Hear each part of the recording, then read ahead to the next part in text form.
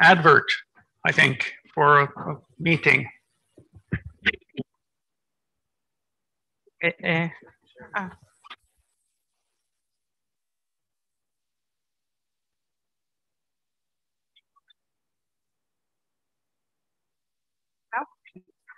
Uh, I wouldn't like to steal any of uh, the time uh, that Dan has for his talk. I just would like to announce very briefly that uh, the Iberian Strings, uh, you may know this is a, a yearly run a conference between Spanish and Portuguese string theory communities. So next year it will be in Oviedo. We will be organizing it. So uh, I invite you to to participate to this. Uh, save the dates. This, would, this will be uh, 19, 20, and 21 in January.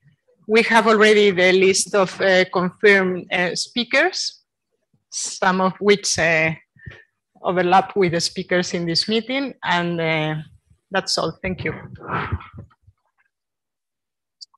Thank you very much. And um, we move on to the next speaker, was Dan Waldram, and he will tell us about um, stability, quotients, and the moduli of 4D supersymmetric flux backgrounds.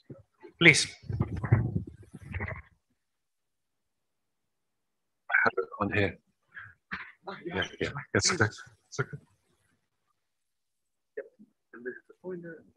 And this is where at.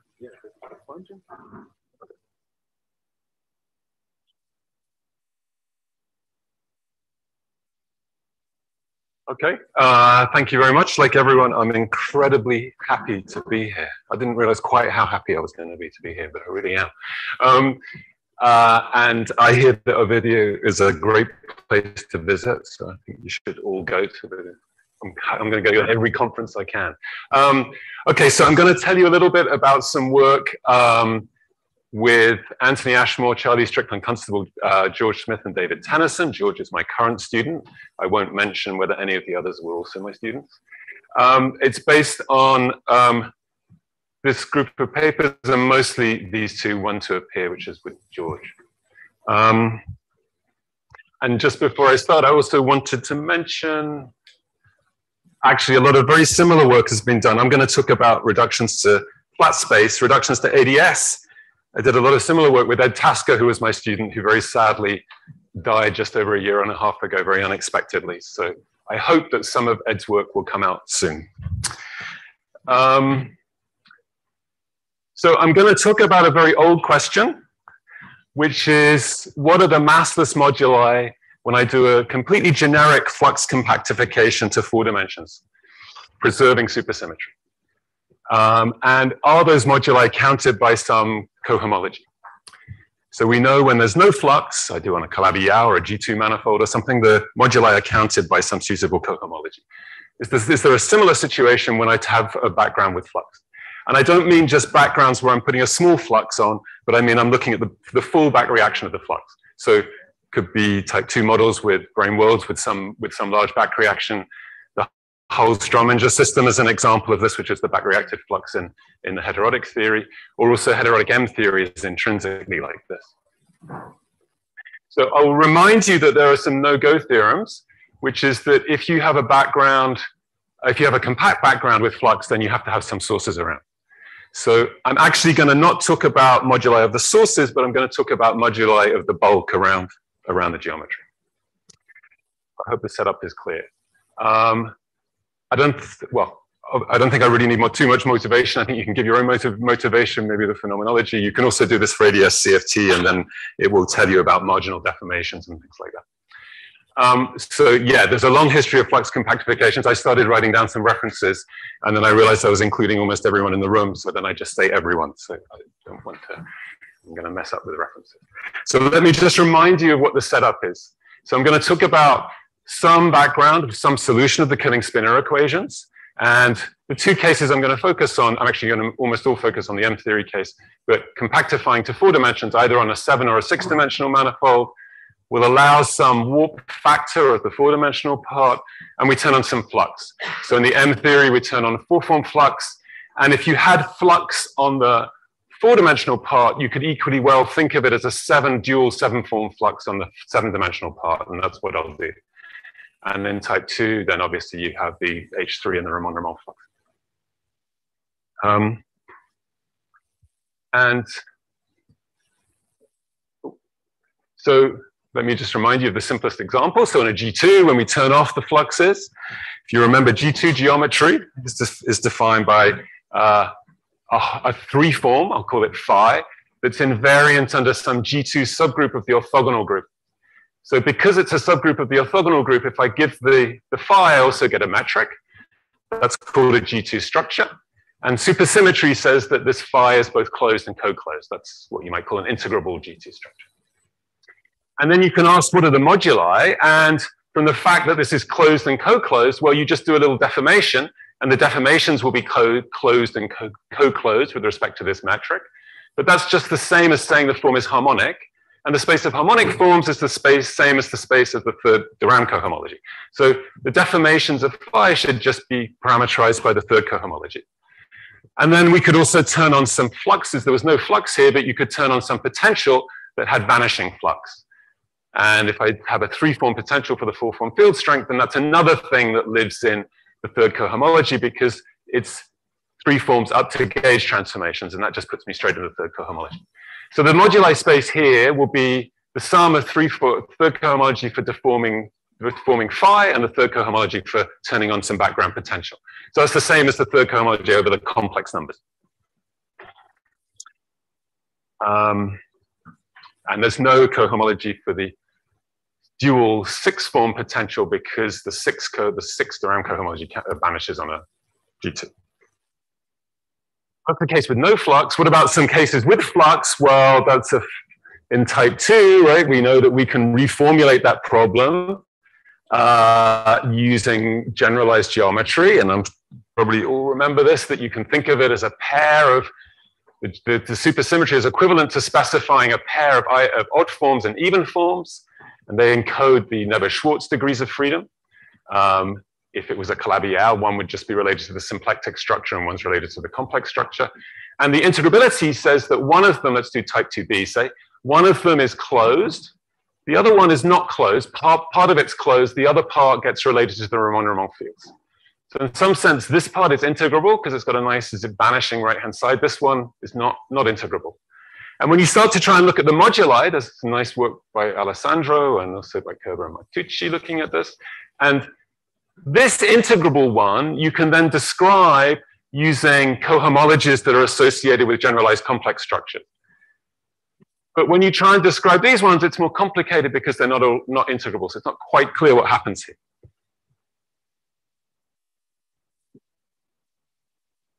Okay, so the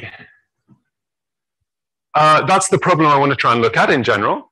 And um, the way to think about it is a very old and very simple idea, which lots of people thought about before, which is that if you just think about, let's focus on 11 dimensions, 11 dimensional supergravity on a seven manifold. If you keep all the Kaluza-Klein modes, you can think of it as a four dimensional supergravity with an infinite number of fields. So you should be able to translate supersymmetry, the fact that you're preserving some four dimensional vacuum, some flat four dimensional part, into conditions on the manifold which should be able to translate them just into this four-dimensional language. So it's just going to be a language of super of, of uh, superpotentials and moment and uh, d terms and so on, f and d terms. So what I'm going to do is review something that's incredibly familiar to you, which is just n equal one, super supersymmetric background. But I'm going to try and argue that it's connected to something in uh, that appears in mathematics, which is called uh, notions of stability and, and geometrical invariant theory. So let me just review stupid things. So we're in four dimensions. We have some matter. They'll be generally be, there'll be some chiral multiplets. Their scalars will be some complex numbers which parameterize a Kähler manifold. And I'm going to call this that's so it's got a symplectic structure pi and a complex structure, and there's some Kähler potential. Okay, and in the background, right, if you remember in supergravity, this is actually a Kähler-Hodge manifold that puts some restriction on the on the pi. But you could also go to the total space, which is where you sort of do a U1 fibration, uh, uh, do a line fibration over this space. That's like going to the going to the uh, conformal supergravity. So I'll secretly be in that in that picture, but don't worry too much. It's okay, no manifold. There's a superpotential, and there's a gauging. So in general, there may be some action on this space which preserves the Kähler structure. And you can, given that action, there'll be an infinitesimal action of the corresponding Lie algebra that will correspond to a set of vector fields on this space that do the infinitesimal motion. They preserve the symplectic form.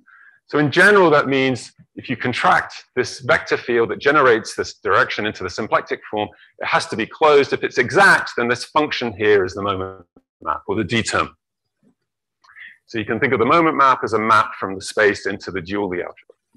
And then supersymmetry, as you know very well, there are F terms, which tell you that the derivatives of the superpotential vanish. That puts you, these are holomorphic conditions, so it puts you on some holomorphic subspace. So the subspace will also be Kähler. And then finally, there are some D terms, which are the vanishings of these moment maps.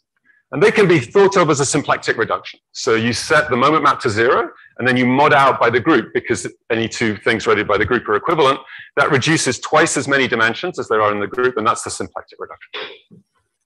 And the resulting thing will again be a Kähler space as you want, because the space uh, of moduli should also be supersymmetric. Supersymmetric moduli. So now what I'm going to say is we can think of this second term actually in a slightly different way. So if you go back and look in Wess and Bagger, they say that you can solve for the superpotential, for the D term, sorry, for the moment map, the D term. And you can think of it as being written in terms of the Kähler potential. So I had these vector fields that generate the motion of the symmetry. And I've got a complex structure, so I can take the complex uh, conjugate, I can act on them with the complex structure. I get another vector field. And then I can take the Lie derivative of the Kähler potential along that direction. And that's actually the same as the moment map as the D. So if you like, this is like the motion along some, if I complexified the group, it would be along the imaginary bit of the complexified group. And from this relation, you see that the vanishing of the moment map is the same as going to an extremum of this Kähler potential moving along the complexified group. In the real part of the group, the Kähler potential doesn't change because it's invariant. But in the imaginary bit, it can change, and the vanishing of the moment map is the same as going to an extremum. If there's one extremum on each action of the group, GC, the complexified group, then I can get another picture of the moduli space. Instead of being this symplectic reduction, I can think of it as modding out by the complexified group. Because each orbit will have some extreme. So that picture is actually nothing other than what mathematicians call geometrical invariant theory. So there's a question, if you have some complex space and you have some group action on it, when can you, how can you understand whether you can reduce by that, by that group? And in general, there's a notion, so this is again what I was just writing. This here, these polystable points are the ones which do have an extremum on the orbit. So here are some orbits acting under this imaginary part of the group. These points here are called polystable because when you act along the, uh, with the orbit, they hit the uh, vanishing at the moment map. This would be an unstable point because it would never, never hit the vanishing. And the nice thing is that you can translate, even without solving the moment map, you may, by knowing enough about the orbit, be able to argue that it has to have a minimum. And that's the idea of geometrical invariant theory is you try and make some arguments to say, well, even if I can't find them, I know there has to be one. And so I know which are the stable points and polystable points, and hence I can work out what this space is. So my message is that as physicists, we sort of already knew about this just by looking in Wess and Bagger, right? It's just the relation between the Kähler potential and the, and the D terms. And you can then think about the moduli and the moduli, if we think of it in this picture of modding out by the complexified group, um, oh, sorry, they are, so there'll be some F terms, which are just variations of the superpotential. If I just do some linear variation of the, of the, of the moduli, there's some, some tangent space, this will give me some, some matrix acting on here has to be zero. But then also I can think of the D terms as acting by the complexified group, or here infinitesimally, the complexified Lie algebra. And um, if these are parameters of the complexified Lie algebra, then I get, again, some matrix relating those to the variations of the coordinates themselves. And if I stick this in there, it's automatically zero. So I get a complex. And so the cohomology, at least in the, in neighborhood, is always calculated. It's this moduli space is always going to correspond to some cohomology here. So I'm just thinking about the things that satisfy the F terms up to complexified gauge transformation. So this picture, uh, you can extend it to think about infinite dimensional spaces. And it underlies lots of uh, the mathematics of trying to understand solutions of famous differential equations. So as I'm sure you know, the Hermitian-Yang-Mills equations, which are the equations for supersymmetric uh, field Yang-Mills configurations on a Kähler manifold, uh, they can be formulated in F and D terms, and you can think of them exactly in this language. You can similarly do the same reformulation of Kähler-Einstein metrics on the space. That's what uh, Donaldson recently did. Uh, the sort of F terms are like saying it's Kähler, and then the D term is like saying that it's constant curvature. So you get Kähler-Einstein. And in that case, so the first case, the gauge transformations, the G was just the full set of gauge transformations. In the second case, it corresponds to some set of uh, some Hamiltonian symplectomorphisms on this Kähler space. But the nice thing here is what the, what the mathematicians did was exactly what I mentioned. Rather than solving these equations, you argue that there must be stable orbits, and then that tells you, tells you much of what you need to know. So this is going to be the idea of what we want to do to try and find the moduli in the general flux case. Let's start out clear to people. So we want to do the same picture, but for four-dimensional n equal one backgrounds. And so the kind of questions we need to know is first, what's going to be this space, which is going to be the space of uh, the, the Kähler space? What's the superpotential? What's the group? And what's the cohomology going to be? And the idea is that exceptional generalized geometry gives you a natural way to reformulate the problem in exactly this language. So roughly where I'm going, I'm going to tell you how to reformulate it, and then I'll focus on the M-theory case and see that it can give us some, uh, some new results. Okay, so as I said, let's focus on the M-theory, but we could equally well have done type 2. Um, so I need to start by telling you a little bit about ge exceptional generalized geometry. Um, so the idea, as I think you have all heard, is that it unifies the symmetries in the fields of the supergravity. In seven-dimensional manifold, I have metric, three-form, the dual six-form. Again, that's this field strength, seven-dimensional field strength, which is basically dual to the field strength in the four-dimensional part of the space, and this warp factor. Those are, those are my bosonic fields. The symmetries are parameterized by infinite, infinitesimally by diffeomorphism, so by some vector, some two-form gauge transformation of A and some five-form gauge transformation of A tilde. And you can package these things together into, together with, uh, you can put them together into a large tangent space, which is the generalized tangent space. And in this case, you need to add one more thing, this tau, which lives in this strange T star tensor wedge 7 T star. This is sort of the parameter that's wanting to parameterize the uh, dual graviton diffeomorphisms. But in this case, it doesn't actually play any role um, because those symmetries don't appear yet. And so you have to go down one more dimension before they actually appear. So it just sort of hangs around for the ride.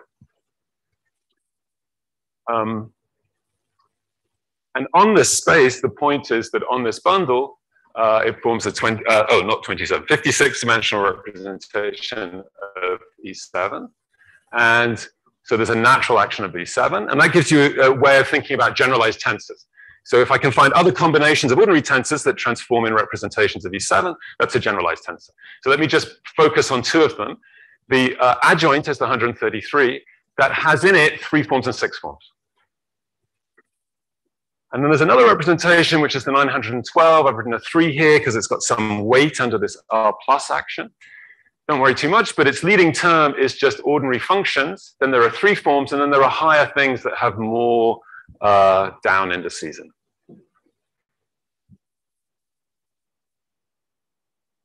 The nice thing in this formulation is that there's a notion of a generalized derivative which acts on generalized tensors and it generates the symmetries of the supergravity. So it's basically a Lie derivative part and then some action which is doing the gauge transformations. And dw, d omega is a three form, d sigma is a six form. So those things live in the adjoint. So I can just take the adjoint action of these two things. That's what the generalized Lie derivative is. And it generates these the symmetries of the supergravity which are sometimes called the generalized diffeomorphism group. And then there's a generalized metric, which is, lives in E star tensor E star, like an ordinary metric, it's symmetric. Um, And in particular, it's invariant under the maximally compact subgroup, and it encodes all the bosonic fields. And then finally, the supersymmetry parameters can be repackaged into representations of the maximally compact subgroup. So in this case, it's the eight dimensional representation of the eight of SO8, just the fundamental. So now we can think a little bit about the background we want to look at. We want to preserve one supersymmetry, so we're picking out one of these epsilons. So we need to specify the background fields, that's the generalized metric, and we need to specify epsilon.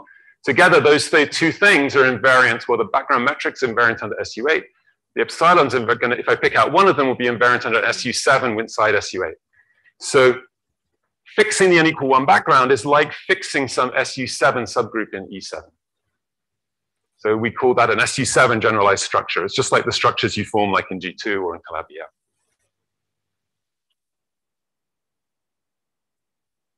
Okay, so what we're going to be interested in is the space of generalized structures and then understanding what the supersymmetry conditions are on. Um, let me just say something. So how can we understand these structures in a bit more detail? So lots of people have gone back and looked at, looked at this problem before, and locally, the, the, the killing spinor locally defines an SU3 structure. That means it locally makes the space look like a product of uh, R and some six-dimensional space, and on the six-dimensional space, it's like a Calabi-Yau. It's got a it's got a putative symplectic form and a putative holomorphic three form. So you locally get these three objects are one form, which is in the direction along R, and then omega and the two omegas, which are the SU3 structure on the six-dimensional space. And you also get a function that's related to the norm of the spinor. And then you've got your gauge fields, and you've also got the warp factor. Now, all these things can be thought of as giving me a particular generalized tensor, which lives in this 912 representation. So all the different SU3 structures I can have can be parameterized by a class of objects in this 912 representation that are all related by uh, E7 transformation. So they live in some particular orbit, all in a single orbit when I think about breaking it down into the SU3 things, when I think about sort of going back to ordinary structures, it turns out there's two types of object in this orbit. And the key thing is that I told you that this representation starts with just functions and then the next thing's three forms. So the generic case is that the starting bit is a function. That's what I'm running here, is this function that's built out of the, out of the warp factor and this angle. And then you act on that with the adjoint action of E7. And I told you that has three forms in it. That's what this chi is. It has three forms and, uh, and six forms. That's the ordinary just gauge degrees of freedom. The chi is some particular combination of the SU3 structure and the angle. So this type, this, so the generic cases like this starts with functions, and then these things will generate higher bits in the, in the bundle. That's what we call type zero. It's possible that this function vanishes, and so the first thing you get is a three form. And then what appears is just this holomorphic three form. And then again, you can transform it by something in the adjoint. So that type is type three, and that corresponds to the case when chi is zero. So these are all in the same E7 orbit, but once you break it into the ordinary geometry, you see two different types of structure. And if you're used to generalized complex structures, this is just the analog. And then just to say, if you take the special case where the angle is a half pi, then that's the G2 case. So in that case, uh, you actually just have a G2 structure. And it's very simple. A G2 structure is you just take the function to be one and you just act with the three form of G2 in the adjoint action, but as an imaginary adjoint action in the E7. Okay, so this space of structures which we can think of as specified by these psi's. And it turns out that that's the set of sp that space of structures, which is some big infinite dimensional space, has a natural Kähler structure on it. And the Kähler potential is just given by some E7 invariant. Don't worry exactly what this is. So there's some natural E7 invariant you can write down. It gives the Kähler potential on the space of, big space of structures. This Kähler potential is actually in the G2 case, it's nothing other than the Hitchin functional for G2, if you know what that is. But at this point, there's just some Kähler potential. Okay, so I've got the first bit, I've got like the analog of, in the n equal one language, I've got the space of chiral fields. So now I need to look at the supersymmetry. And I need to impose first some set of F terms and then some D terms. So the F terms, you can write down a superpotential, which is sort of some extension of the old Beasley-Witten superpotential it's first written down. Or you can think about it another way, and let me think about it in a slightly different way. So one thing you can do is write down the superpotential and extremize it, but let me think about it in a slightly different way. It turns out that this SU7 structure, when I'm at pick one of these five, one of these psi's, it actually gives a decomposition of the generalized tangent space into four separate things if I complexify it. And you should think of this as the analog of if I have a complex structure, it decomposes the general, the ordinary tangent space into holomorphic and anti-holomorphic. So instead of two things, you get, you get four things. And this F term condition can be reformulated as an involutivity condition on a subbundle here. So if I take two things that live in L3 and I take the generalized Lie derivative of one with the other, it also lives in L3. And if you know about complex structures, that's exactly what happens, right? An integral complex structure is one where you take the Lie bracket between the, the holomorphic vectors and it's again a holomorphic vector. Um, and furthermore, uh, if you take this condition, it automatically means this is anti-symmetric, whereas generally it's not. So we sometimes call this thing an exceptional complex structure because it's the exact analog of a complex structure. So these SU7 structures are like exceptional, they're like complex structures. Okay. The fact that this is involutive means that it forms a Lie algebroid. And if you have a Lie algebroid, you have a natural cohomology. So really, I'm just trying to get to you. We want to end up talking about cohomologies. We've already got some natural cohomology here, so it looks sort of hopeful. Okay, so that's the F term. What about the D term? There is indeed some moment map, and it's just the moment map of all the symmetries. So the set of symmetries you had with the supergravity transformations, diffeomorphisms and gauge field and gauge transformation, you just act with that on this space, and it gives you a moment map. Uh, and vanishing of that moment map is equivalent to supersymmetry. So if we think about this in the GIT picture, we can think about some integrable structure here. Some, so that's the F term, that's the, it's going to look like some exceptional complex structure. And then we mod out by complexified versions of these diffeomorphisms. And when you do that, as, you, as we sort of anticipated, it pre precisely writes the moduli space in the neighborhood in terms of this cohomology that is naturally defined by this involutive structure. So the picks up the third and the sixth cohomologies here. So generically, we've now got a formula which tells you what the moduli are for any flux backbone. And I'll just make a comment that um, you could imagine things where you have type changing. In this case, you can, where so something is mostly type zero, and at some points it becomes type three. Uh, if that happens, then you necessarily have a singular background. Something goes wrong with the, with the warp factor. You might have, you have to have some sources of. So, okay, I've given this to you in some abstract cohomology. That's not very helpful. Let's look at it in a little more detail, and I'll translate this into something that you, that you know. So let's start with type zero. Let's assume we have a type zero background and do its moduli. Now, the point was this thing, if you remember, I said it starts with this real, with this thing that's just a function, and then um, it acts on it by some adjoint action to generate other things. And so the fact that the leading thing looks like a function, it turns out that this cohomology that we define is actually equivalent to the de Rham cohomology. you can work out what this cohomology is, it's just the de Rham cohomology. And furthermore, supersymmetry, just the F terms, means that the cohomology classes of the flux have to vanish. So before I told you that these cohomologies were the third and the sixth, so we're now going to get the third de Rham and the sixth de Rham cohomology. That's just like what we got for the G2 manifolds. And indeed, if I to restrict to G2, I precisely get the moduli space to be the third de Rham cohomology over the complex numbers, and this thing vanishes. What about if I turn on some fluxes?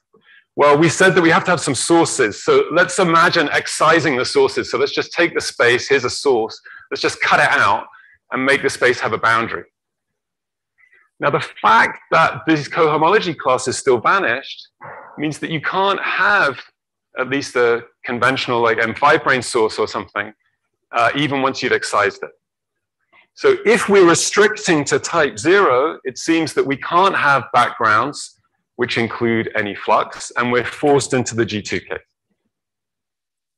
Um, there are singular solutions that are type changing that exist. They were found by Lucas and Safin. But if we say we can't have type changing, then it seems like we're forced into type into, into G2. And this is kind of interesting because I told you that you could think about these stability proofs for the existence of, of solutions. So Calabi-Yau theorem is like that. So you might ask, is there some Calabi-Yau theorem for G2?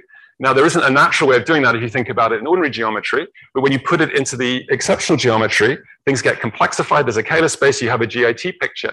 And so this looks like this might start giving you some idea of the existence of G2. And there are, there are uh, sort of out there, there are some uh, conjectures for how that might work, and they indeed match into what we're doing here. So I can tell you a bit more, but let me keep going. Yeah, I've run out of time. Uh, the other one you can do is type three. So I'm running out of time, so no, let me not tell you very much. But the point is that that's got no functions, but it's got three forms. And what happens now is that the, this funny cohomology essentially decomposes into Debye cohomology on this six-dimensional space. You've got a, one extra direction, and so you really get a bit more than Debye, but essentially it's Debye. It's something you can calculate. In this case, the flux is allowed, and there's no there's no seven-form flux, but there is five there's four-form flux, and that's you're allowed to have five brane sources. So again, you can calculate. That's that's the main thing I want to get stressed is that you can calculate exactly what the moduli are here. So let me just give a classic example to see how this works. So um, ages ago, uh, people looked at um, the heterotic model of uh, the heterotic, the M theory version of the heterotic string compactron in Calabi-Yau, and geometrically it looks like some six-dimensional manifold, some orbifold interval. You have two boundary planes where the gauge fields live, and to first order, you can take the six-dimensional manifold to be Calabi-Yau and the flux vanishing, but the boundaries source the flux. So in general, you have to have some flux in the middle here too. And in the old work, what we did was we did some linear approximation and we showed that the moduli space of this thing under this linear assumption, you just take the first order correction due to the flux, is the same as the moduli space of the heterotic string, which is what you would expect on a Calabi-Yau. But now we can do that much more generally. We don't have to make the, the approximation. And what happens is those two cases, the one where you have just Calabi-Yau and the one where you have the full back reactor geometry, lie on the same orbit here. So that means we can uh, calculate the moduli space using this point or this point, doesn't matter. So the fact they're on the same orbit means that the moduli spaces will agree. So the, the linear one we did and the, and the, uh, the full thing. So this proves that actually the moduli space of heterotic M theory is the same in general as the moduli space of the whole Strominger system of the dual, um, the dual heterotic picture. What we've done, we've included all the Kaluza-Klein mode corrections in that. But there are no D0 branes in the heterotic theory, so it's not surprising there's no correction. It doesn't lift anything. Okay, I should stop. But I hope I've given you that there's a natural picture of stability GIT and supersymmetry. You can extend all this to other theories as well. Uh, and generalized geometry gives you a nice way of calculating these, these cohomologies that I think would be very hard to do without the structure, the structure of the generalized geometry. Um, and I said that it's indicating some new mathematics, and particularly these ideas about stability of G2 manifolds. Okay, I'll just stop there. Thank you.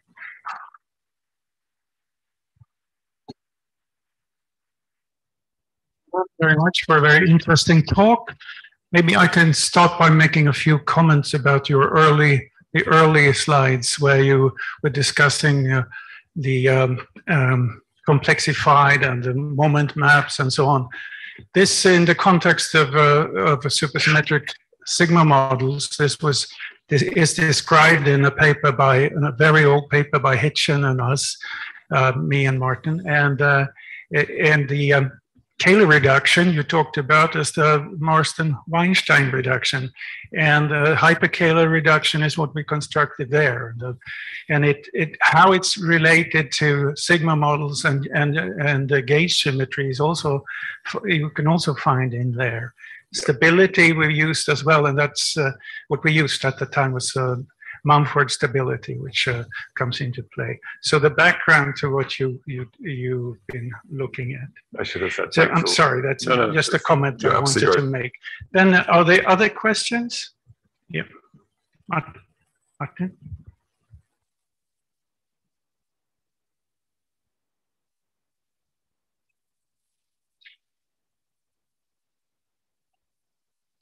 Maybe you mentioned it, but I but I missed it. But the reason for the nine twelve representation to appear is it the same as uh, the way it appears as as the um, embedding tensor? Not really. It's just can you find a tensor that is stabilized by the group uh, SU7? Sure. And um, this is the lowest, this is the smallest representation for which that happens. Okay. I would expect there to be some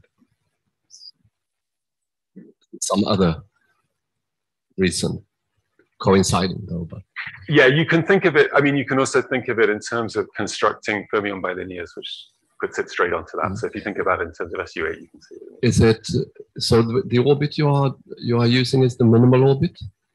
Um, yes, it's the minimal orbit.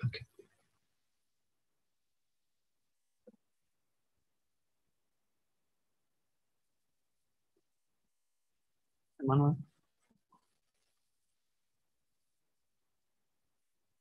Hi. Um, I was just wondering, how easy is it to deal with type changing backgrounds? Uh, would you then just stick to the seven picture or? So there's two slightly different possibilities. So if you have type changing, it has to be singular.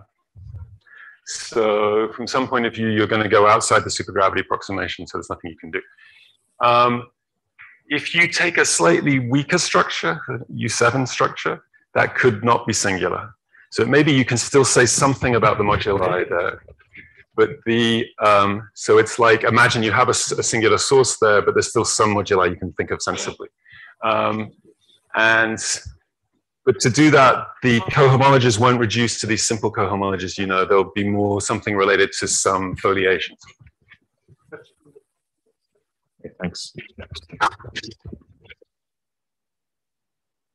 Um, more questions? If not, then um, there, it looks like there, there is uh, a question from, um, from the um, uh, online people. Uh, Andre, is it?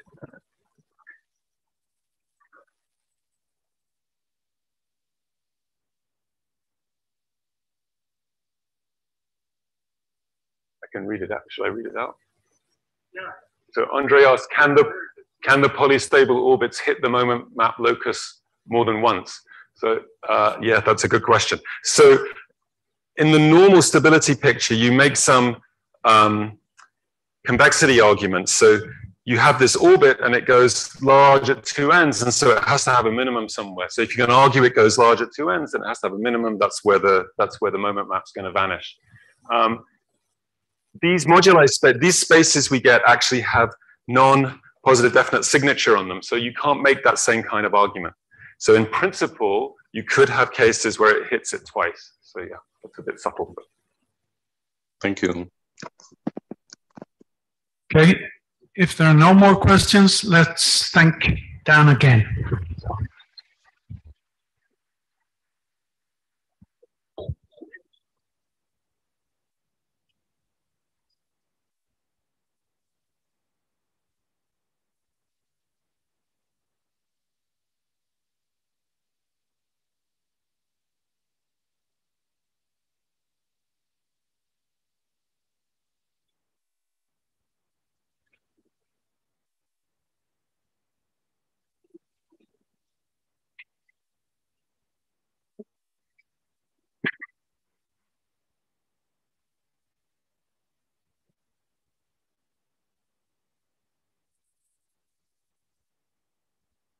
So the next speaker is Fridrich Valach, who will tell us about exceptional algebroids and Poisson-Lie U-duality. Please. Uh, let me just try the, okay. So first, let me thank to the organizers uh, for giving me the opportunity to talk here about the work that I've been doing recently with together with my collaborators, which are uh, Mark Bugden, Andre Hulík, and Waldram. So the papers are already on arXiv. you can you can look there for more details. So since I, the audience here is quite wide, I will try to be um, less technical. So the point of this talk is to give some introduction to exceptional algebroids, which is a mathematical structure we introduced in these papers in order to study some phenomena in uh, in exceptional geometry, such as Poisson-Lie duality or consistent truncations. So before getting into that, uh, let me say, uh, let, let me give you a parallel with, uh, with the ordinary story of, or more ordinary story of generalized geometry. So suppose we want to study the following question. So, so, there, there, so first there, there exists an object which is which is handy in many applications in string theory. It's called the generalized tangent bundle. Um, so this is just the direct sum of a tangent and cotangent bundle. So sections of that are given by vector fields and one forms. And there is a, and the claim is that there is an interesting bracket on on these on these sections which is given by this formula. So people call it the Dorfman bracket usually uh, in the physics community. And uh, yeah, you can twist it by some tree form. And uh, yeah, so the claim that I'm making is that this is a useful object and it's, it's, it, it appears in the study of symmetries of, of the theories in hand, etc. And uh, somewhat tautologically, this thing is equipped also with a with some sort of natural scalar product, which is given by simply by pairing vectors and covectors. Okay, so now in, it might happen sometimes that you can, if you have such a generalized tangent bundle, that you can find a, a global frame, let's say orthonormal one, which has constant coefficients. So if you take if you use the if you take the bracket, then the coefficients that you get will actually be constant. So this is a rare thing. It, it's not you know just some manifolds that admit it. So you can ask a question: What are the compact manifolds that do admit such a parallelization? So this is the question I want to ask in this motivational part. So um, probably there are other ways to reach this goal, but like a, a particular nice one is to embed this whole thing into a slightly larger world. So, and that is the world of courant algebroids. So, um, yeah, I doesn't want to switch. Is it because, uh, is it because, okay. Yeah. Okay, thanks. Okay, so, so courant algebroids, without going into technical details, that's just uh, basically the structure that you saw here. So it's sounds some vector bundle, let's call it E in general, a bracket on the space of sections of that, and in, in a product, and then there is some map which is kind of implicitly present here when you take here, you take, just take the projection to the TM. So this, this map is called the anchor map. So probably you've seen this thing at some in some different incarnations or some different stories. And the, the and this is subject to some conditions which I'm not going to explain in detail, but basically they tell you that these structures kind of, you know, they preserve each other, you know, just the nicest condition that you can imagine. And then there is one condition which says that actually this bracket here is not skew symmetric. So uh, it, it, has a symmetric part, and the symmetric part is kind of governed by this inner product.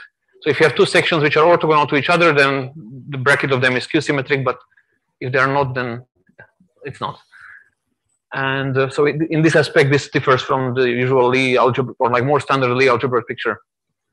And now the examples for that. So I didn't tell you the details, but it's actually not necessary for, for what follows.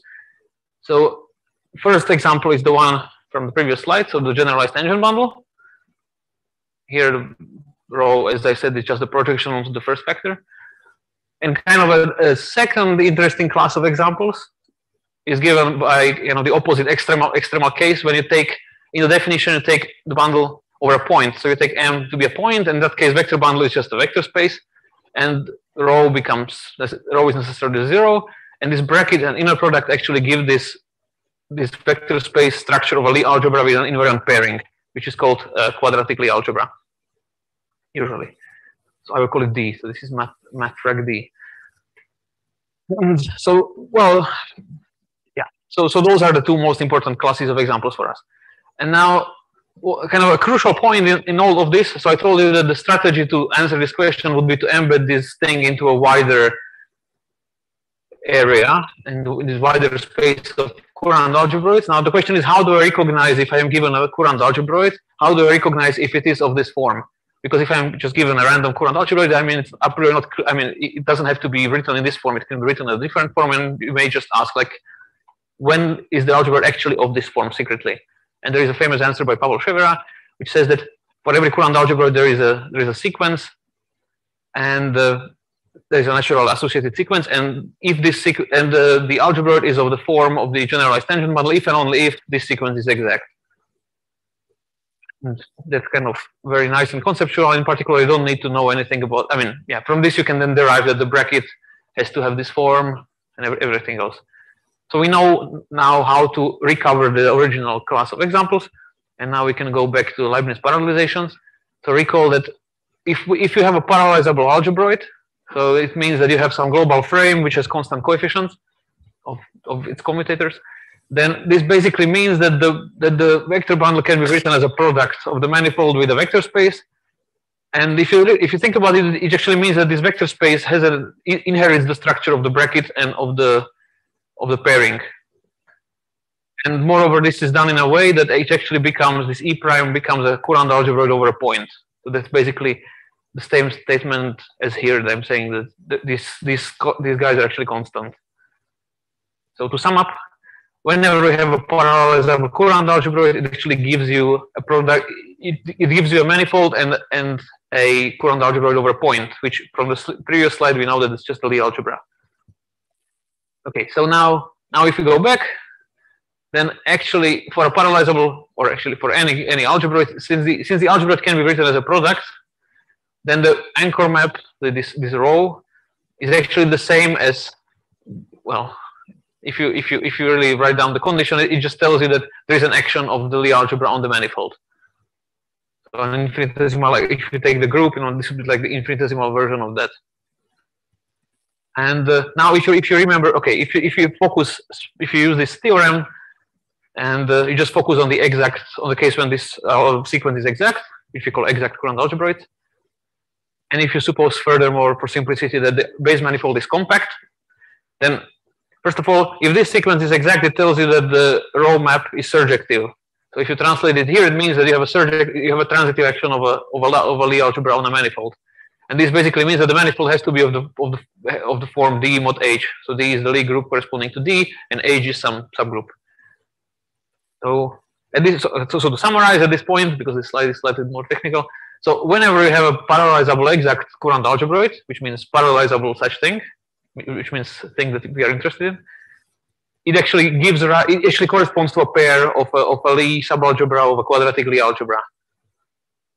And well, conversely, you can ask, like, it, eh, does every every subalgebra of a quadratic Lie algebra give you such a thing? And the answer is no, because there is some further condition. So, for instance, you can easily derive that um, if you look at, at this guy here, and you look, look at the kernel of the anchor map, that's given precisely by the second factor.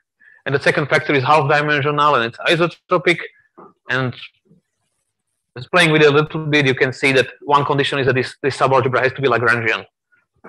So, okay, now let me summarize this, this little technical discussion. So, uh, so what we have shown is that whenever you have a parallelizable exact Courant algebroid, then this gives rise to a quadratic Lie algebra and the Lagrangian subalgebra thereof. So Lagrangian, I don't know if I said this. Lagrangian means that it's it's uh it's it's a subalgebra which is isotropic with respect to the pairing here, and it's half dimensional.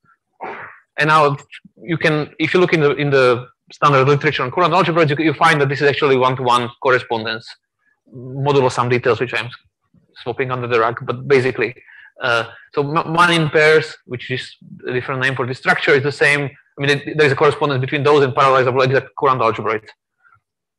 And at this point, you can you can say also what is the Poisson-Lie duality. Um, so in this language, it just means that you have you have same D but two different ages. That's that's that's what it is.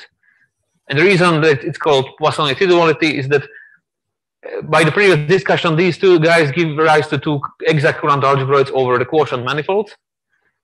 for instance, if you, in the special case when, when these two subalgebras are transverse, these quotients can be identified at least locally with the you know with the other group, and these things are known in, in the literature as Poisson-Lie groups. So that's that's why the name Poisson-Lie comes from.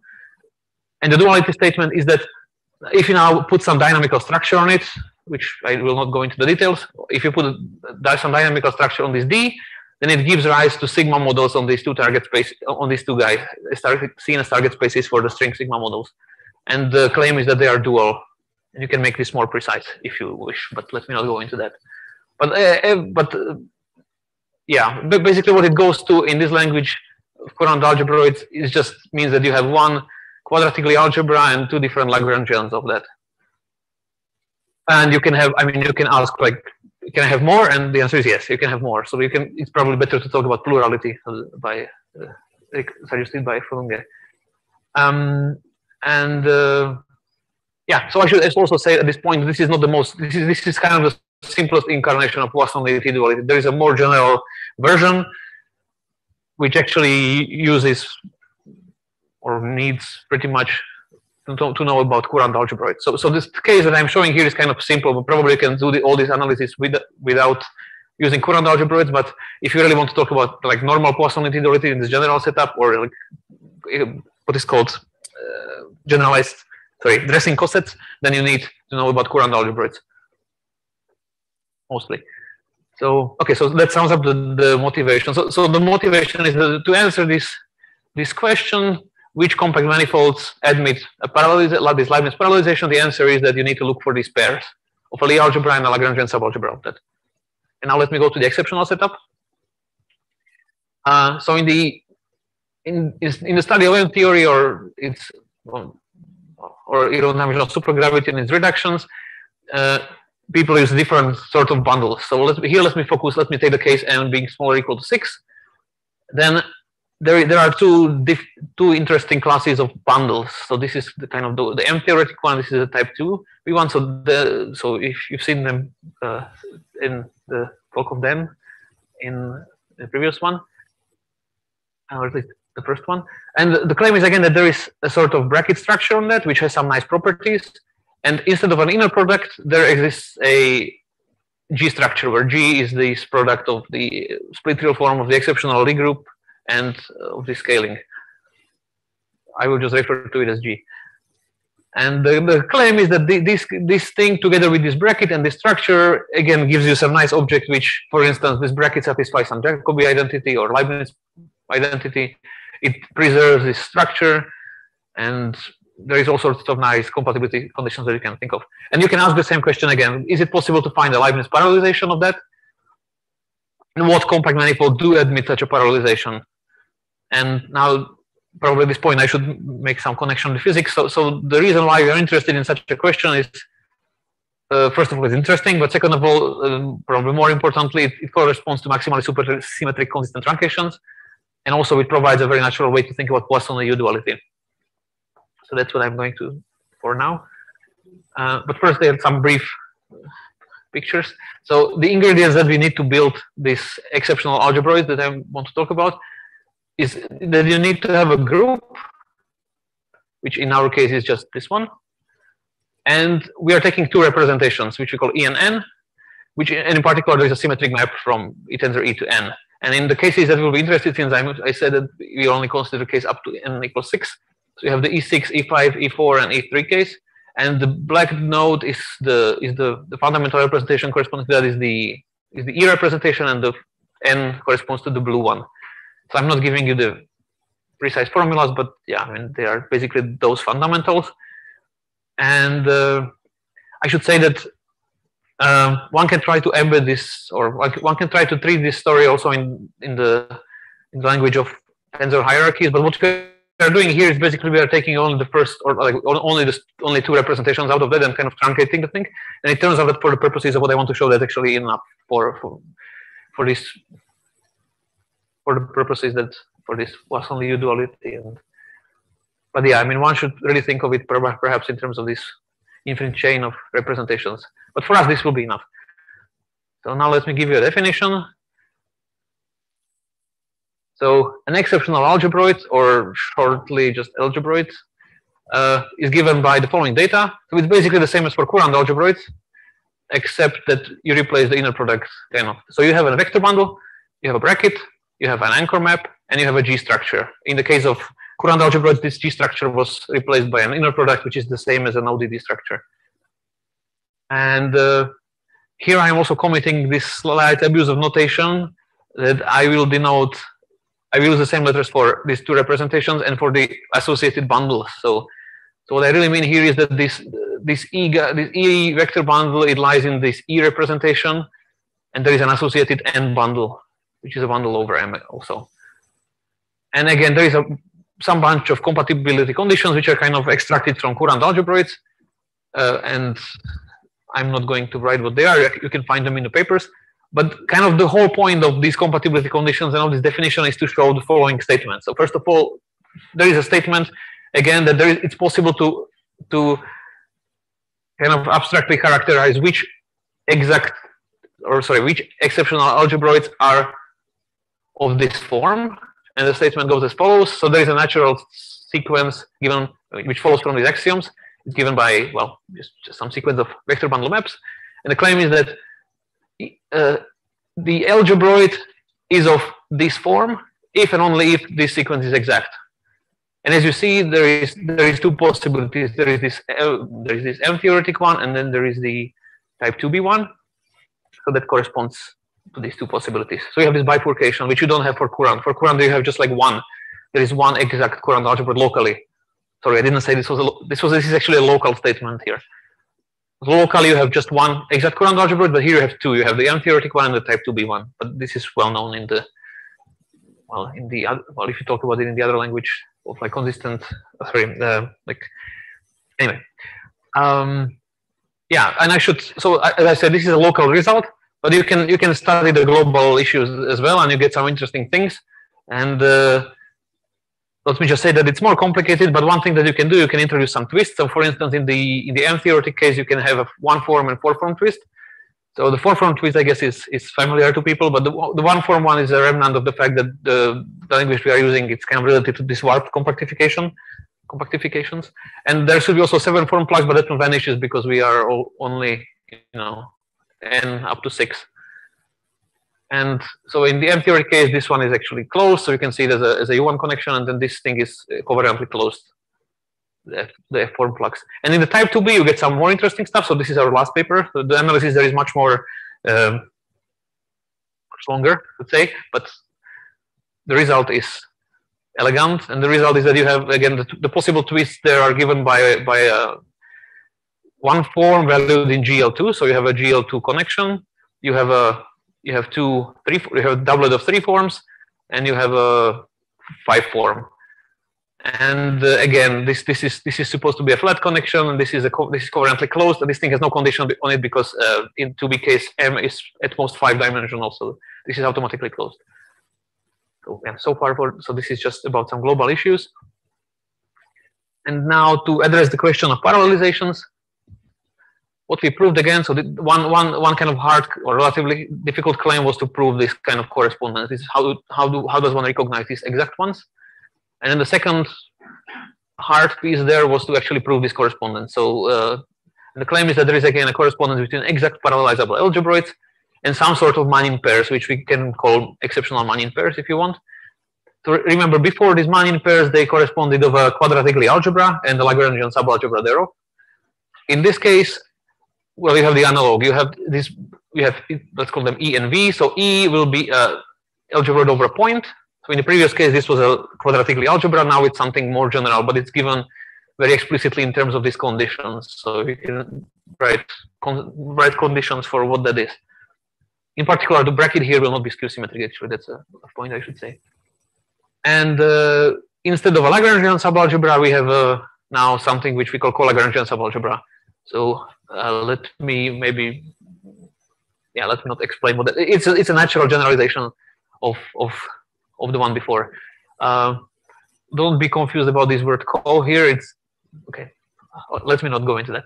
So so it so far it's just a natural analog, and then there is some some technical conditions that you get here actually. Uh, which are kind of very mild. So for instance, you want that uh, the symmetric part of the bracket lies in this Colagrangian subalgebra, and you want that there is some sort of alignment of traces, uh, where mu is some uh, concrete numbers, which I didn't write, depending on n. Um, thank you. And uh, yeah, so I should say that the result here, it, it also it mirrors a, result by Inverso Optin in 2017. So what we have here is kind of putting that in a different language and there is some simplification achieved in here. I mean, as you see, like these conditions are quite concise. And in particular, you can now say what is Poisson U-duality is just the case when you have two such subalgebras. Then you get the corresponding the corresponding exact parallelizable algebroids. Algebroids will be, you know, Poisson U-dual. So yeah, let me go into examples. So first of all, the simplest one. So th these will be examples of these pairs. So each such pair will give rise to some parallelization, some Leibniz parallelization. So in the first case, if you take, in the simplest case, when you take the, everything abelian, so there is vanishing bracket, then, well, these two conditions are void, and subalgebra is also void. So we basically only need to have an algebra, well, an, a vector space E and some Colagrangian subalgebra. And in that case, if you take the if you look at the corresponding space, so I didn't tell you how to pass from from this exceptional Manin pair back here. So in the case of Courant algebra, this was given simply by you know you, you took the the quotient of the groups. In this case, it's more complicated because there is no groups here because this this thing is not the Lie algebra. But you can make a Lie algebra out of it if you mod out by kind of the nasty stuff. So, and uh, what I'm saying is that there is eventually some sort of group quotient. And in this case, it's quotient of abelian groups, and then you get a torus. And because everything here is acted upon by the exceptional group, then you also have that there is different Colagrangian subspaces also form an orbit of the exceptional group. And in other words, you get basically, I mean, this, this different choices of such subalgebras will just correspond now to different choices of this subspace and they are related by the action of the exceptional group. So this is the standard story of the of the ordinary U duality. Now you can generalize this slightly. Uh, if you start from a Lie algebra, so then you recover the first case if you take the algebra to be abelian. So if so, this is K. So if you take mathfrak K, uh, any Lie algebra, presumably compact if you want compact result at the end, uh, then you can take uh, you, just mimic the construction of the exceptional tangent bundle. So you just take k plus which 2k star plus which 5k star, and you take v to be this guy, the, this, this last two factors. And there is a natural bracket structure on this thing, which will make this thing into some, well, into precisely an algebroid over a point. So I'm not writing it down, but it, it basically, it's basically the same as the formula here, which I also didn't write down. And uh, yeah, and the quotient that you get at the end will be just the group K. So this this example you can you should kind of think of it backwards, like because because group is a nice parallelizable manifold by itself. So there is no wonder that it gives rise to parallelizations. This is just like to see. I went from the left to the right just to demonstrate that you can also see it as some sort of pair E and V. This is related to Schwarzschild reductions, and also if you are interested in searching for dualities, so you can try to for instance, one thing you can you can do, you can try to deform this V inside E. You can find like some continuous family of deformations, you know, some for instance, you can keep it transverse to K and deform it to correspond then these deformations will correspond to some graphs. And then the condition for this to, to actually be a Lagrangian subalgebra, that's the Yang-Baxter equation, or generalized Yang-Baxter deformation. And so this was studied by, by Sakatani, Malek Thompson, and uh, and also some other things in this. I mean, the situation was explored in more detail in, in their works. And um, for one example, which is not given by group, or, or two examples, are the spheres. So, for instance, if you take if you take SO5 and SO4, then miraculously they seem to they fit into this framework, and the quotient that you get is a four sphere, a, yeah, and S4, which is an M M theoretic parallelizable space. And then uh, similar but slightly more complicated one is give obtained by SO6 plus the sum of the two vector representations. And I need to, I should tell you also how the bracket looks like. So, uh, because the bracket here on this algebra, so he, well, so this will not be a Lie algebra. This, this part, this part is a, is a Lie subalgebra. This thing is left central. So bracket of this guy with anything vanishes, but the bracket of this guy and this guy is given by the action. That's how the structure looks like. And you take V to be this thing, and the quotient then leads to a five sphere. And this is actually an, uh, an E6 case, so this is a 2B parallelizable space. Okay, so these are the examples. There's not many more examples known, especially compact ones. Thank you. Um, but anyway, let me let me finish by saying what else can be done using this wonderful machinery of algebroids. So one thing that you can do, you can generalize this further. So you can go to is if you recall, then the, the ingredients to, to construct such a thing consisted of a group and a pair of representations. So you can take different choices of this data, and this is what we call G-algebroid. So for instance, if you take GLN with the vector representation and the trivial n, then you get Lie algebroids. I mean, the, the, the corresponding things satisfying these axioms will be Lie algebroid. If you take ONN with the vector representation and the and the trivial one, where where the again, sorry, let me go back. So you an important part is also this map. So in the, in the O(d,d) case, this map will be just the inner product. And if you look at the, the at the details, then modulo some details, you will get Courant algebroids. Uh, another interesting case is if you if you if you generalize this uh, E44 case, which is which is which was studied in, in in this paper. So there you get basically you have two two forms and four forms, and the and the map is taking simply the wedge. So you wedge two two forms, and that's a symmetric operation. And so those two, I mean, the first two carry a name. This one doesn't have a name, maybe, or maybe it does. I don't know. Uh, but yeah, in one of the questions is like, what are the other possible group setups? So like, do they lead to something interesting? Do they lead to something physically relevant? So that's one of the open questions. and then another thing you can do, you can build a generalized Einstein-Hilbert action. So following following this work, that, that's also what we did in one of the papers. Uh, you can you can like on a general uh, exceptional algebroid, you can you can build a generalization of the of the of the Ricci scalar and Ricci Ricci tensor, and you can you can write down the an action functional which reproduces the equation sorry which reproduces the the action of the relevant supergravity and then it, it follows almost effortlessly in this framework that you have a compatibility between, between Poisson U duality and supergravity. It's really just like uh, one line uh, observation in this framework. So that's that's that's what this, kind of suited for. And now the what can one do with it next? So what's the things that we are interested in is to look at the 2A case, for instance, which is this was M theoretic one and the 2B case. The 2A case is different and more complicated because it's not extremal. It's like the um, in the usual EFT language, it would correspond, I believe, to saying that the solution of the section constraint is not maximal or minimal. It, it's just, well, yeah, and that, that leads to complications. But yeah, so it, in this language, it leads to some also some interesting questions. So, for instance, one expects, thank you, that there will be no longer uh, this kind of unique characterization or just two cases, but you will have some moduli there. And then you can look at non-maximal consistent truncations, non-maximally supersymmetric, or you can try to do the classification because now the conditions here are fairly simple. So you can, if you work for low n, you can probably do it without, I mean, you can probably do it. So that's another thing. Like what are the possible such pairs? And yeah, and then there is the usual stuff. You can try to supersymmetrize it. You can look at, uh, you can, these are, uh, yeah, you can look at other other G algebroids and see how they're rel related to some interesting physical questions and uh, yeah so that's that's it thank you very much for your attention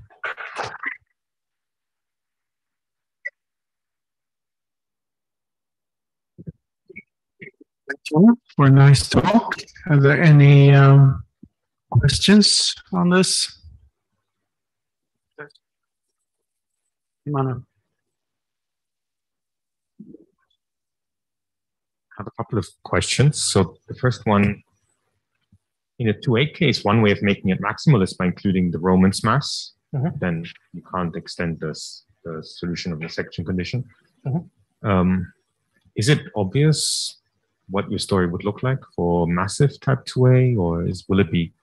uh, it's uh, well i know if it's obvious but okay so so what uh, I cannot switch the slides. Can you make?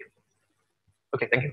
Uh, yeah, so so um, kind of the the the the hard part of or like the only non-trivial part of this thing was to prove this kind of correspondence between that and that and that that's just like some some straightforward but slightly tedious calculation. And if you just go through that calculation for the two A case then you then you then you get the yeah so actually what you get there is that you, you get two possible scalars in, as the deformations but like the, one of them has to vanish. But it can if I remember correctly and one of them should be the Romans mass and the other one should be the other thing that you can deform the, the theory with. I think there is there is some something like that, right? Yeah. So so it, it kind of follows it follows off naturally from from from this thing. You, you, if you just if you just the strategy is just like you take this thing, impose the that this is exact, and then, you just look look at what it gives you. It's like straightforward calculation, and it, it gives you all the possible fluxes. And in the 2A case, it will give you these two scalar deformation. If, if you can, we even tried like going one dimension lower, then it gets really messy and uh, probably more interesting as well. And um, another question, I think you had a point about it in your last slide. Um, so can you use something like this to describe more general structures, for example, Dan's generalized SU7 structures and seeing what manifolds admit them? Um, that's a that's a very good question, but uh, uh, yeah, I'm afraid we haven't looked at that yet. So um, I would hope so, but I, I no, it, we really didn't didn't didn't look at it yet.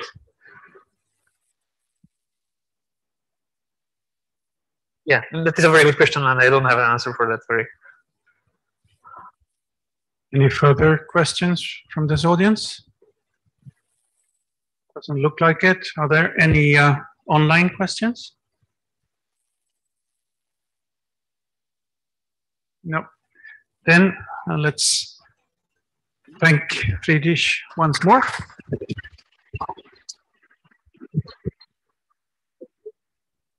And move on to this morning's last talk.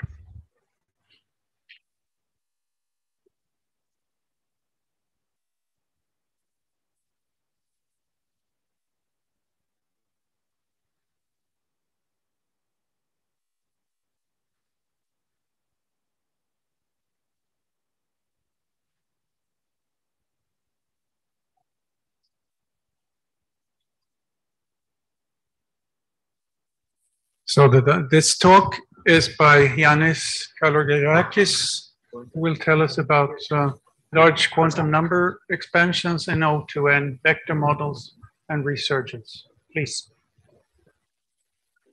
Hello, and uh, I want to thank the organizers and the previous speakers. Actually, it's a great honor for me to be here. It's my first live talk in the, in the COVID area, and it happens in Greece in Corfu. So my talk will be about large quantum number expansion in the O(2N) vector model and resurgence. And there was already some introduction done by my supervisor, Susanna, this morning. So this, uh, paper, uh, this talk is based on the paper that we wrote recently with uh, Susanna Reffert, Domenico Orlando, and Nicola Dondi. And I want to um, ask your forgiveness uh, a priori because I haven't uh, been very careful with uh, references, but uh, you can find everything in the arXiv paper and in the published paper. So let me start by giving an outline of my talk. First thing first, I will try to introduce uh, what I'm going to talk about. And uh, then I will uh, give some results from the large N that have most of you have already seen from the morning in any case. And then I will briefly talk, talk about the resurgent analysis and then move on to the worldline instantons. And I will look at two specific cases, the case of the torus and the sphere, before concluding my talk. So at this point, let me start uh, with the introduction and what is the large quantum number expansion. And as uh, Susanna said in the morning, it's limited to theories with global symmetries, and it actually allows analytic treatment of otherwise inaccessible systems. And as most of you already know, the C, most of the CFTs, they lack nice limits when they become simple and solvable. But in the presence of a symmetry, we can find sectors of the theory where the OP coefficients and the anomalous dimensions simplify. and we can actually calculate them. So the idea here is that uh, we study subsectors of the theory uh, with fixed quantum number q, where q is the charge, and that in each sector, uh, we use the large charge as a controlling parameter in a now perturbative expansion. So in this talk, I will uh, consider the O to N vector model in two plus one dimensions. And uh, this uh, model five um, goes to an uh, IR, it flows to an IR fixed point, which is a conformal fixed point, a Wilson-Fisher fixed point. And uh, actually, we can use the state operator correspondence and we can compute the, uh, the scaling dimension of uh, the lowest primary operator at fixed charge. And we have the result right here. So we can see that it scales with the charge. And there are two terms, this one and this one, that uh, from the effective field theory point of view, these are Wilsonian coefficients and cannot be computed, but we can have some results from the large n. And then the first term goes as q to the 3 halves. There is a subleading term that goes as q to the 1 half.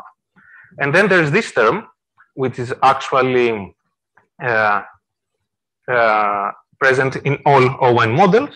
And then there are subleading terms that goes as q to the minus 1 half.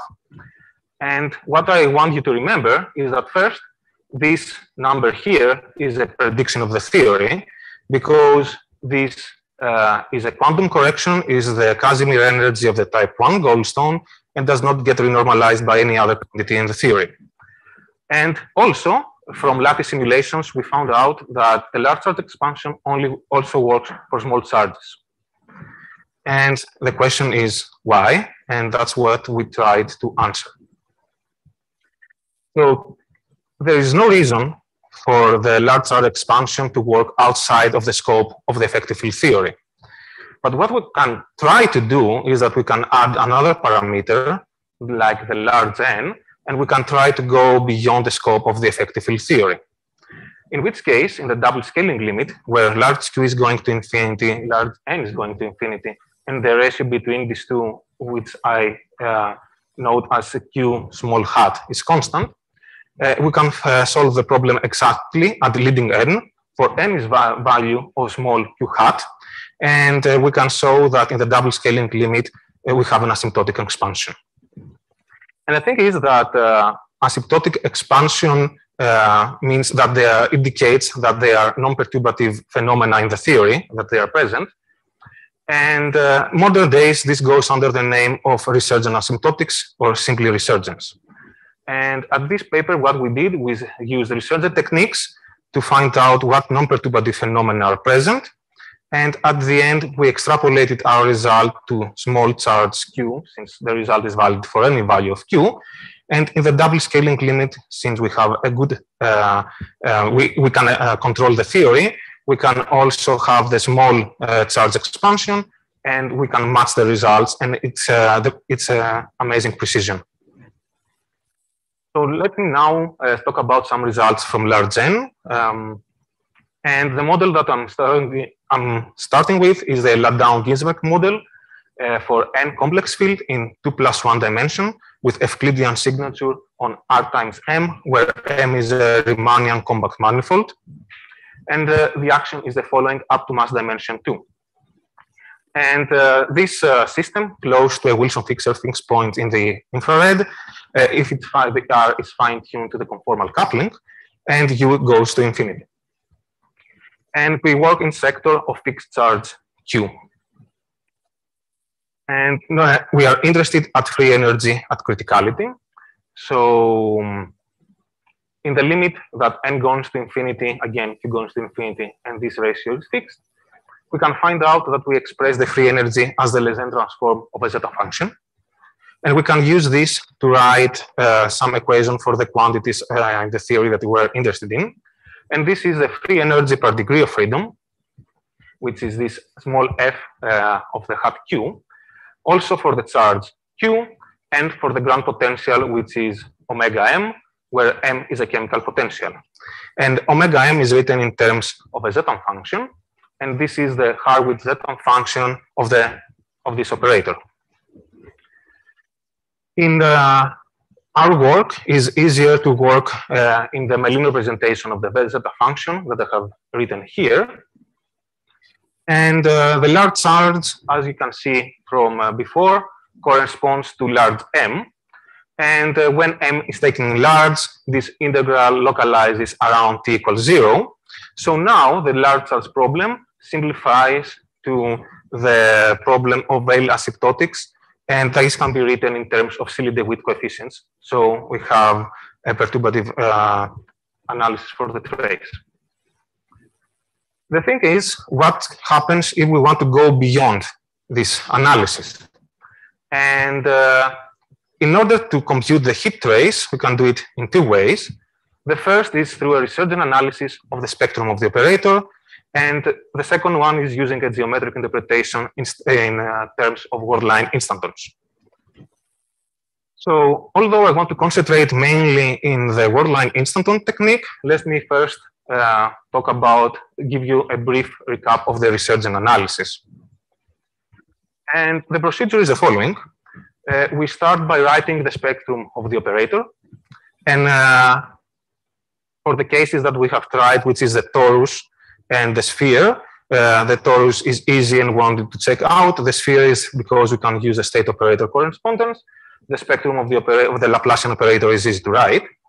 And then we write the heat kernel as a sum. And at this point, we want to use Poisson resummation and expand around the appropriate limit, which is the t going to zero plus. So first is the case of the torus, which is sort of trivial because the thing is that the heat trace here can be written as a square of the theta function. So after doing the Poisson resummation, the end result is this particular one. And this sum does not include the zero mode. On the other case, uh, the sphere is much more complicated because there are ambiguities that arise here. And uh, we can do the above procedure and uh, we end up with an outcome that is written in terms of the Dawson function, which in, uh, can also be written in terms of the imaginary error function.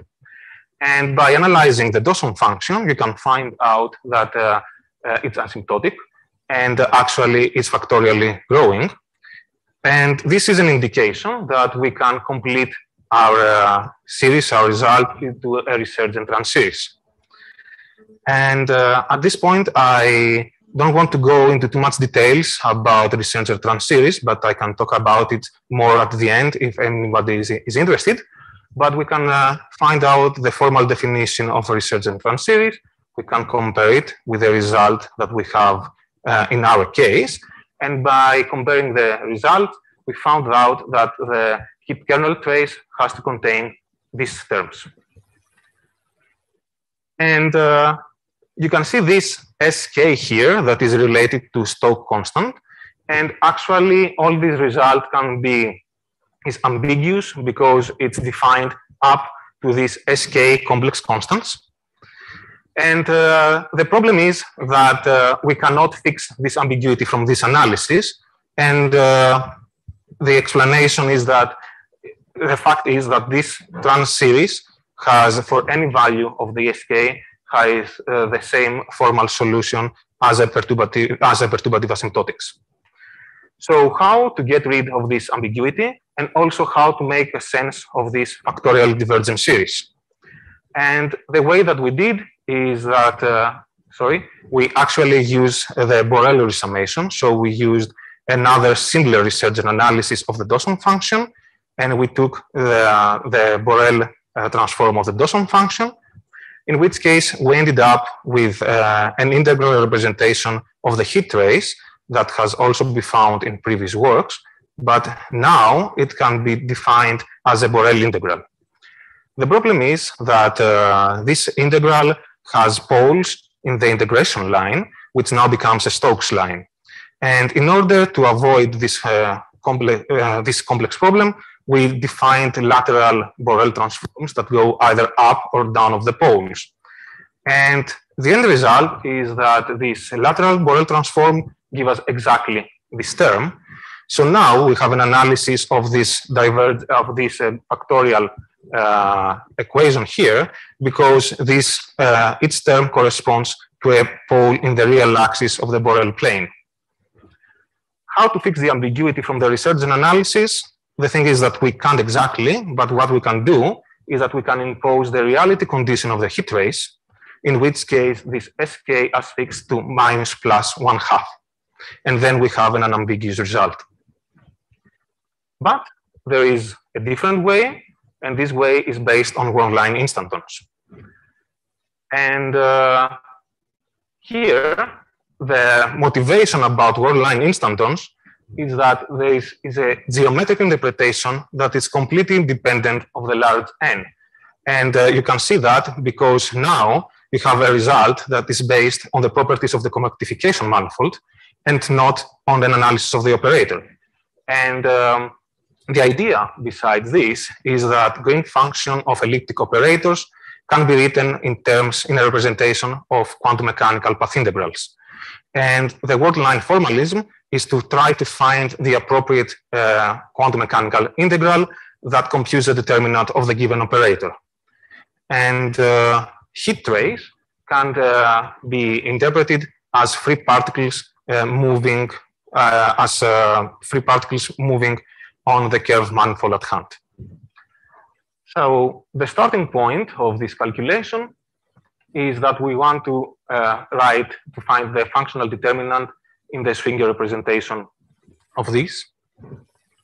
And uh, in a product manifold, uh, like R times M, the trace in the Schwinger uh, integral, uh, the Schwinger integral factorizes, so we can directly uh, examine the heat trace.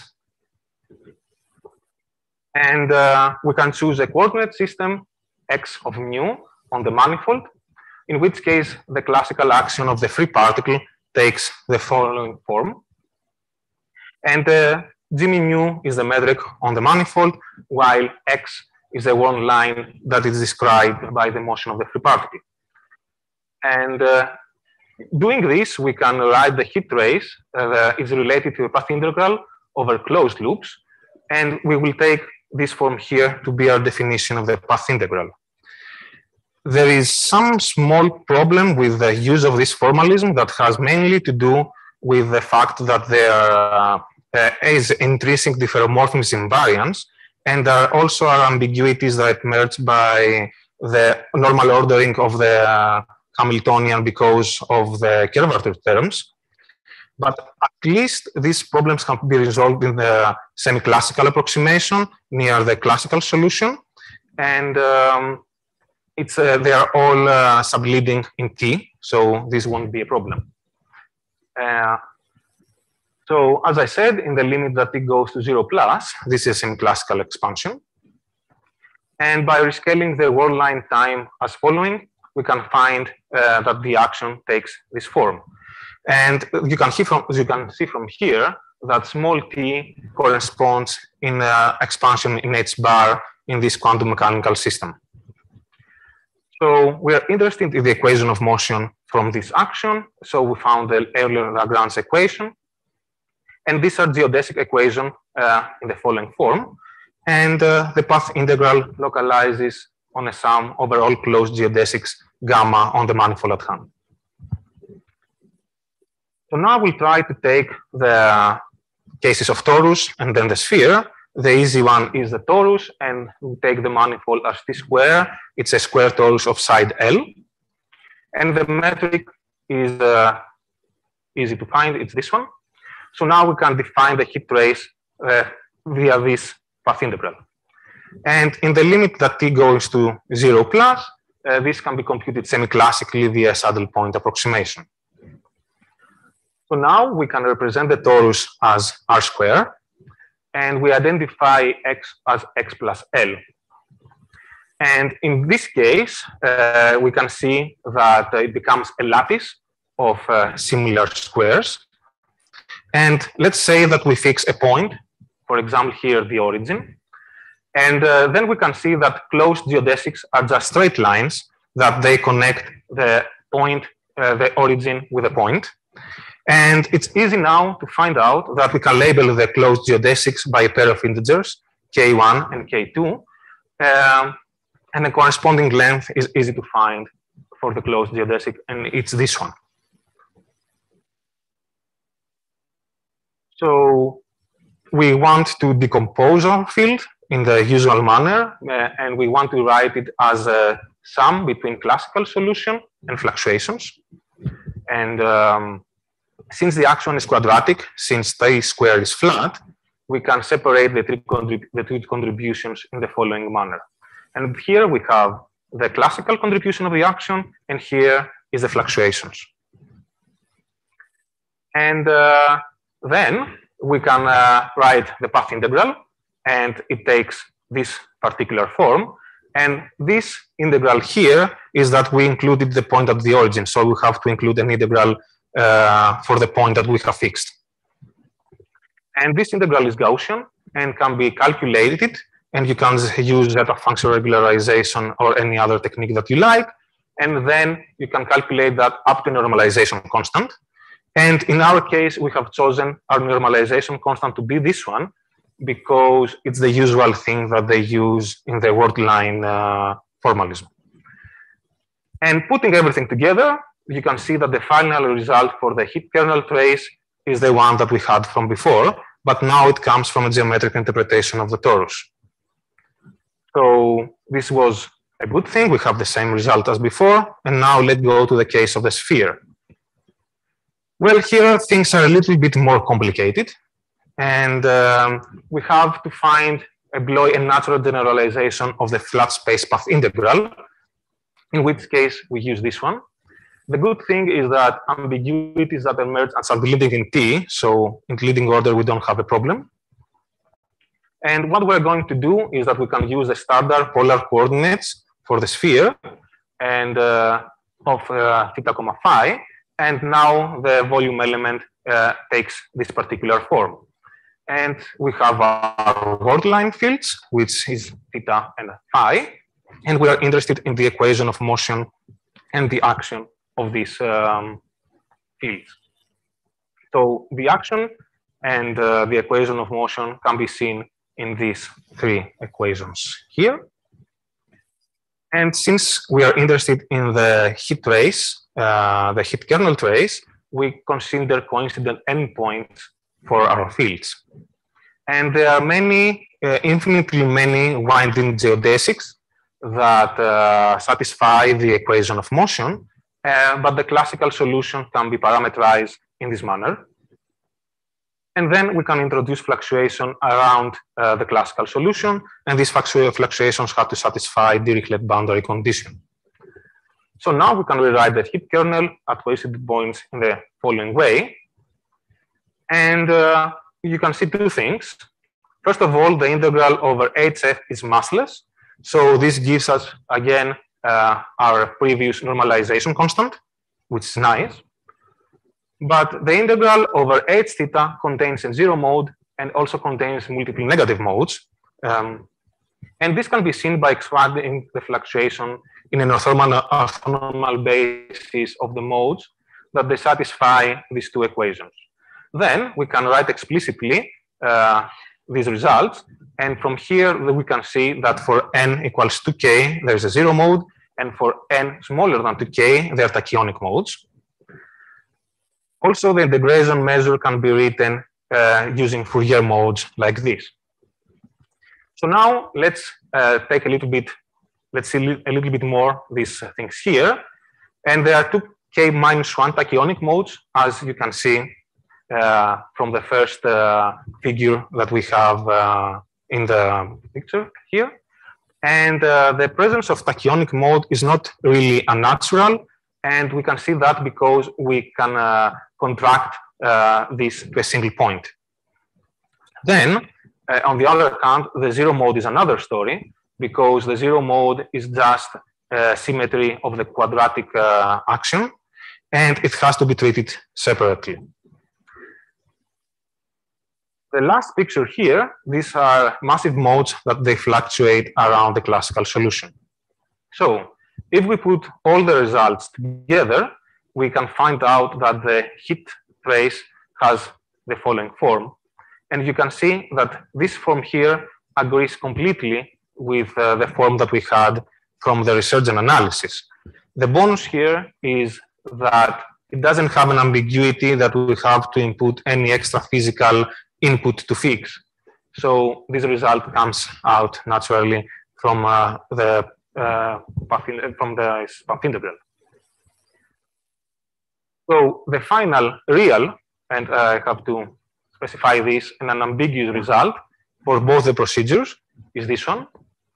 And actually here you can see uh, the first term is exactly the um, uh, integral uh, representation of the heat trace uh, that we have found as a Borel integral. And this is a term of the ambiguity.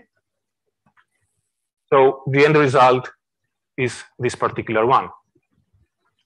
Good thing about this is that we now have a closed expression for the heat trace, uh, for the heat kernel trace, and we can write the exact expression of the grand potential, which is valid for any value of small hat q.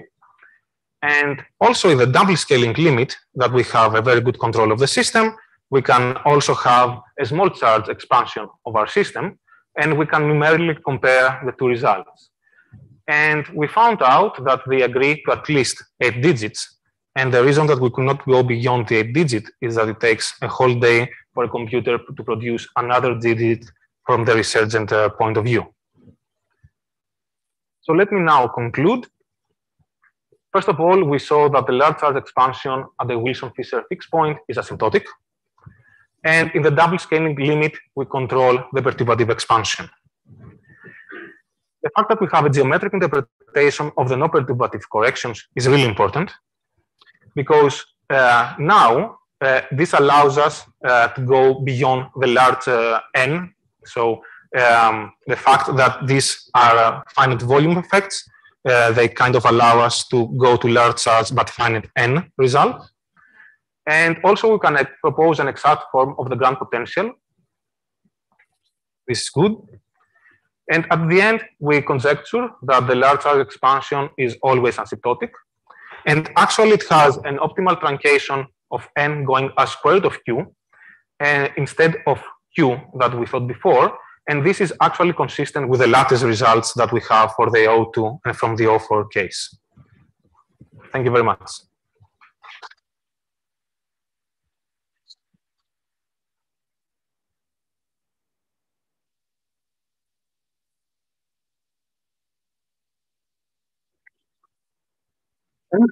Yeah, for a nice and well-timed talk.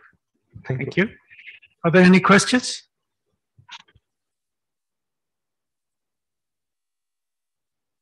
Niels has one.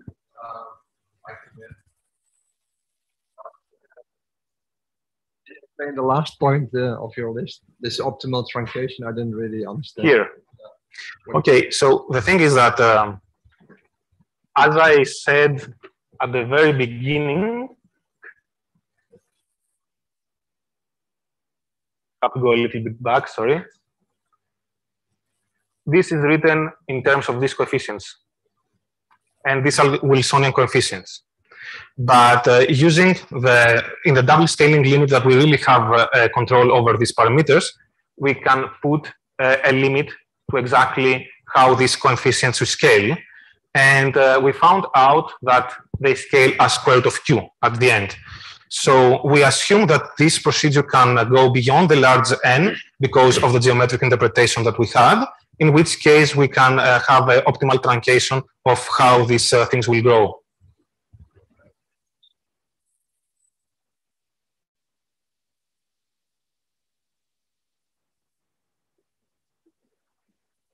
Other questions? Do we have any questions from the virtual audience? No? In which case, let's thank Yanni once more.